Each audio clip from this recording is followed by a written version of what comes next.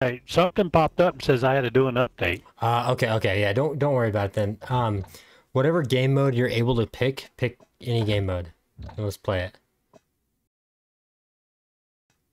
I mean, that's the thing that gets me is every time I go to play this fucker, it tells me I got to update Yeah. something. Just fucking update it. Yeah, I know, I know. I had to do an update. You could set your uh, you're on Xbox, aren't you? Yeah, Yeah, it's you could supposed set to be it. on automatic updates. Yeah, you can It's set supposed it. to be that way already. Oh, I don't know.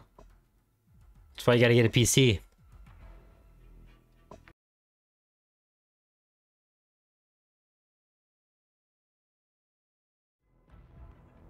says I'm required to m- remove at least one player in order to.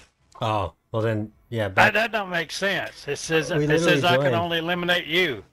Yeah, I know, Huh? cause yeah, cause yeah, if it's free for all, then we probably can't team up.